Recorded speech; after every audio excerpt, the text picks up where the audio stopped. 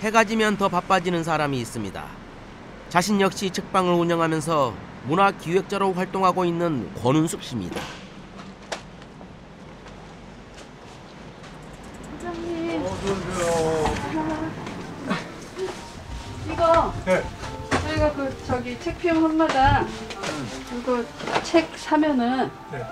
그 사은품을 주는 거 연필해갖고 이거 이거 이렇게 쓰시면 좋겠어요. 네. 이게 백 백자루가 다 나갔으면 좋겠어요. 글쎄요.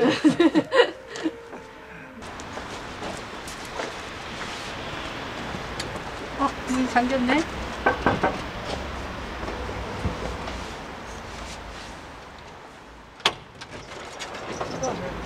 네, 네, 이거 그 연필이요. 이거 요 책을 사면은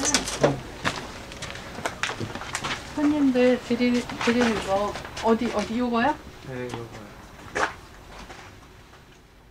키다리 책이네요. 이것도 팔 거예요? 팔어? 응? 전시?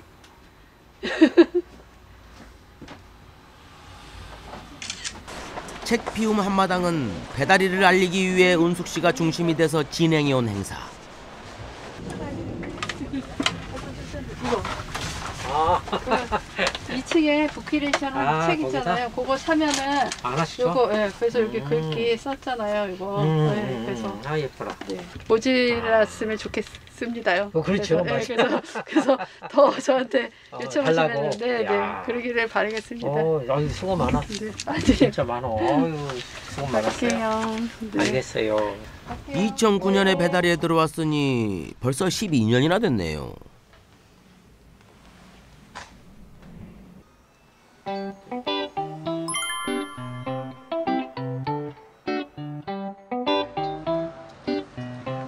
이곳이 권은숙 씨의 일터.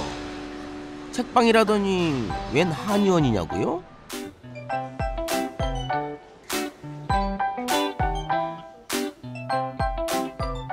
사실 내부는 다섯 개의 가게가 한 공간을 나눠 쓰는 공유 상점.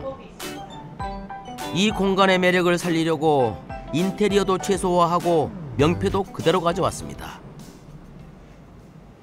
그게 역사성인 거죠. 항상 그랬던 것 같아. 내가 이 공간에 새로 들어왔다고 해서 그 전 것을 어, 모든 거를 어, 다 없애고 어, 내 색깔로 입혀야 된다. 그거가 아닌 거거든요. 그래서 동성한의원도 이미 그 이름으로써 이 공간이 예, 존재해 있고 그것들 좀 살려내는 방법 을 이제 모색을 한 거죠. 별난 이름 때문에 난처한 때도 많다고요? 어, 이게 닫혀 있다가 이제 오래간만에 또 열리니까 동네 분들이 한의원이 다시 열렸는 줄 알고 침 맞으러 오시고 카페인 줄 알고 들어오셔서 이제 차를 찾으시고 오히려 써놓으니까 재밌어 하세요. 네. 월세를 해결할 자구책으로 하나 둘 손을 내민 가게 사장들이 어느새 다섯 명이 됐습니다.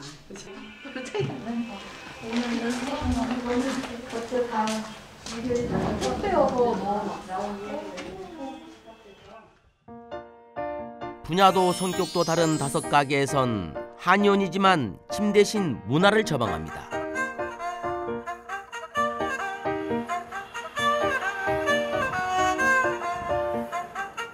식물 가게는 식물 가게인데 한의원 분위기가 나는 식물 가게는 어떤가요?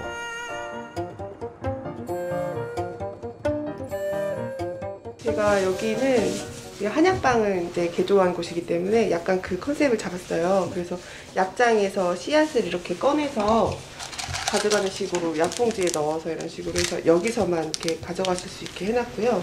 그리고 한약방이다 보니까 이런 삼배 도 해서 이 약봉지식으로 해서 흙 세트, 그 작은 화분 분갈이 가능할 정도의 사이즈를 해줬고, 그래서 약간 이렇게 뭐 뭔가 식물 의원 같은 느낌으로 공간을 공유한다는 건 의외의 곳에서 시너지를 낸다나요?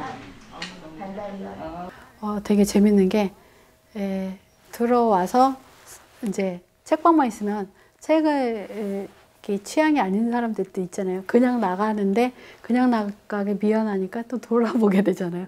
그럼 이제 뭐라도 하나씩 이제 사갖고 가는 거죠. 뜨개 공방의 미영 씨가 수세미를 뜹니다. 눈썰미 좋은 분들은 아시겠지만 천연 실을 이용해서요. 천연 마실이 있어요. 요거는 우리 저기 zero waste shop 슬로슬로에서 판매하는 건데 제가 이제 그걸 거기서 구입을 해요. 어, 구입을 해서 천연 마수세미를 뜨고 있답니다.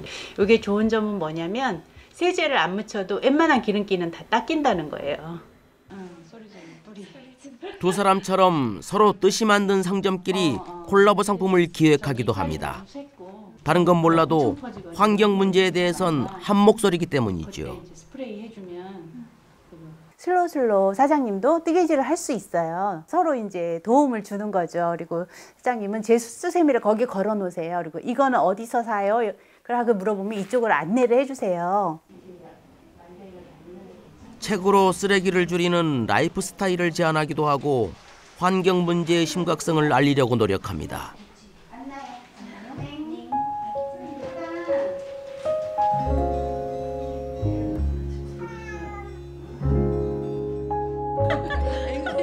혼자는 부족하지만 함께 힘을 내는 공간, 누군가에게 도움이 되는 공간을 꾸려가는 중입니다.